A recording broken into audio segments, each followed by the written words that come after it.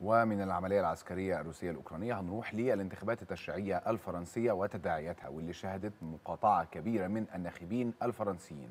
دي المقاطعة اللي ليها تأثير واضح على الفترة الرئاسية الثانية للرئيس إيمانويل ماكرون اللي فقد غالبية أو الغالبية المطلقة في الجمعية الوطنية بعد رئاسة كانت شديدة المركزية في الولاية الأولى. ده كمان هيكون تهديد لبرنامج الرئيس خصوصا بعد ما أعلن تحالف اليسار عن نية التصويت من أجل سحب الثقة من حكومة الرئيس ماكرون في الخامس من يوليو المقبل.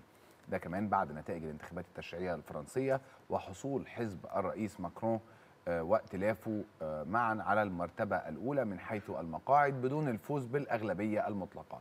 وحصد حوالي 244 مقعد من أصل 577 مقعد. وكمان أظهرت النتائج اللي نشرتها وزارة الداخلية الفرنسية أن الاتحاد الشعبي الجديد اليساري اللي بيضم حزب فرنسا الأبية وحزب الخضر والحزب الاشتراكي والحزب الشيوعي الفرنسي بقيادة جون لوك ميلونشون حصل على 131 مقعد ودي النتائج اللي بتقلل من حرية الرئاسة وبتقوم بتعظيم دور البرلمان.